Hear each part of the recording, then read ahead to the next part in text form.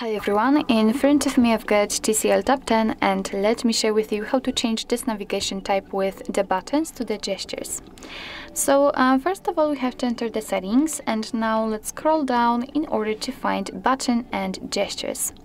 Now let's tap on system navigation which should be on the first position and as you can see here we've got actually three different options from which we can choose. So currently we've got the buttons option applied. And if you will decide that you want to stick with this option then you can customize it here. So you can change the button layout. So simply reorder the positions of the icons. So you can switch uh, the recents with the back button just like that. Just pick the option you'd like to use. Uh, but if you'll decide that you want to use the gestures you've got two different options. So here we've got the gesture navigation with the back from side which simply means that after um, picking this option, uh, you will have one line here which will be responsible for uh, some actions which I'll show you later on of course.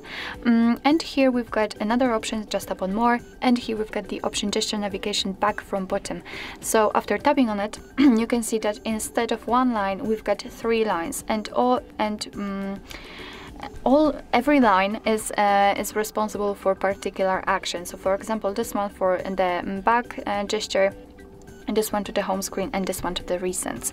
You can hide the gesture bar here of course if you want to stick with this option. I don't want to so let me get back and let me pick this uh, this option. So as I said uh, here we've got only one uh, line and now let me show you how it works. Of course here you've got the animation so you can check it whenever you want to but I will still explain it. So in order to get back to the previous page all you have to do is to simply swipe your finger from the side to the center of your device until you will see this arrow. And uh, since you're touching the screen the arrow will not uh, I mean you will not get back. So you have to release the finger. And as you can see we are in the button and gestures section. And it doesn't really matter if you will do uh, it from the left side or the right side. It works the same.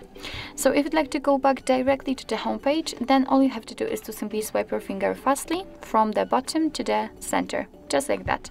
And as you can see we've got the home page and if you'd like to uh, enter the recent just swipe your finger from the um, bottom to the center. So the same gesture but this time do it quite slowly and hold your finger here just like that. And as you can see after releasing uh, you will be able to open the recents so actually this is it. This is how to set uh, the gesture navigation in your TCL Tab 10 Thank you so much thank you so much for watching. I hope that this video was helpful and if it was, please hit the subscribe button and leave the thumbs up.